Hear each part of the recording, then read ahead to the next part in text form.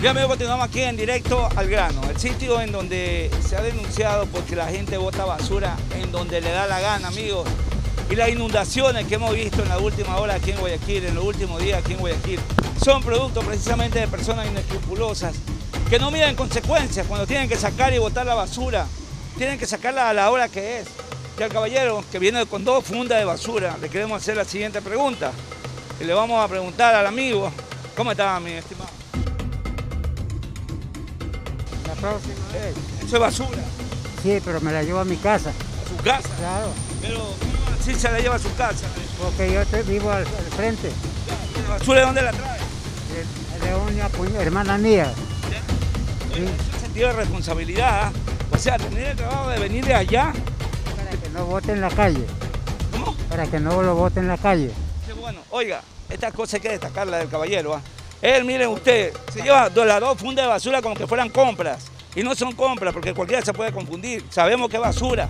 Pero él de allá se lleva a su casa para evitar que eso lo bote. En la calle para que no los sumideros no se inunden. Sí, caballero, usted vio, se dio cuenta cómo estaba la, la- la- la ciudad en los últimos Eso días. es una porquería. No le podemos echar toda la ciudad de calle cuando la gente también vota, vota, la, vota por ejemplo, aquí. Los- usted lo ven que lo vota una basura, el otro qué hace. No, pues si él va votando, ¿por qué no voto yo? ¿No le parece que es una indisciplina? ¿Ah?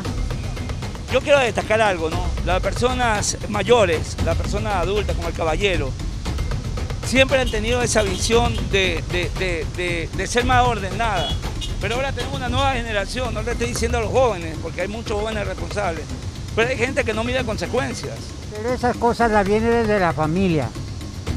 No es la generación, es la misma familia. Como son en la casa, son en la calle. Tanto es el padre como el hijo.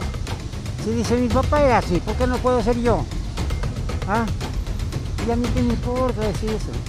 Entonces, esa es la diferencia. La educación se, se fue a los pasos, al, al suelo. Ya no es la misma de antes. Ya no es lo mismo de hace 40, 30 años. En ese entonces, amigo, daban urbanidad, aseo, todo ese tipo de cosas. Había ahí Ética, lo, materia de ética, urbanidad.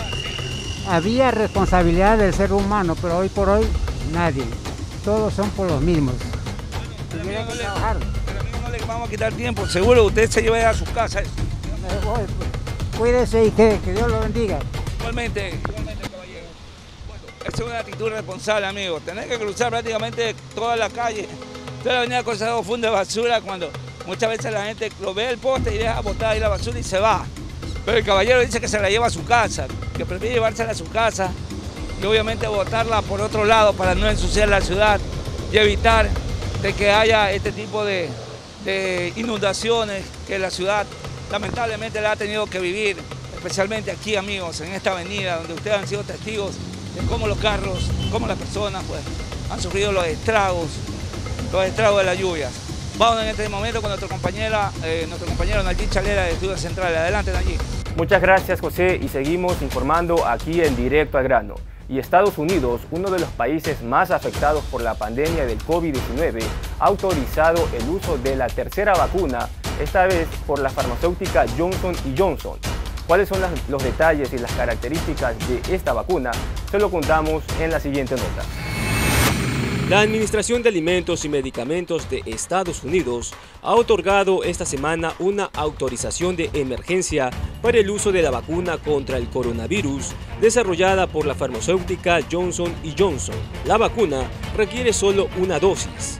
La decisión se produce luego de una votación unánime del Comité Asesor de Vacunas y Productos Biológicos relacionados de la FDA para el uso de esta vacuna en adultos, que se convierte en la tercera en llegar al país norteamericano junto con las desarrolladas por Moderna y Pfizer.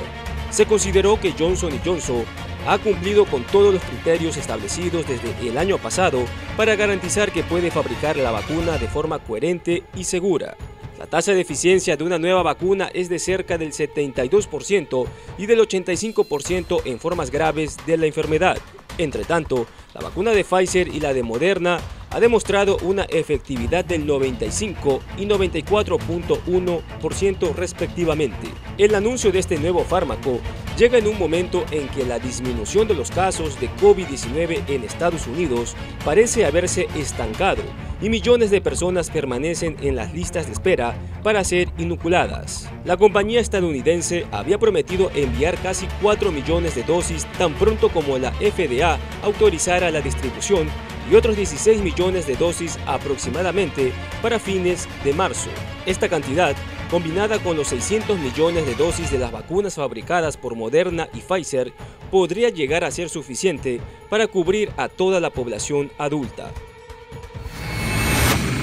Y en medio de la demanda de vacunas anti-COVID, Italia ha vetado el envío de cerca de 250.000 vacunas hacia Australia debido a la escasez que está pasando la Unión Europea.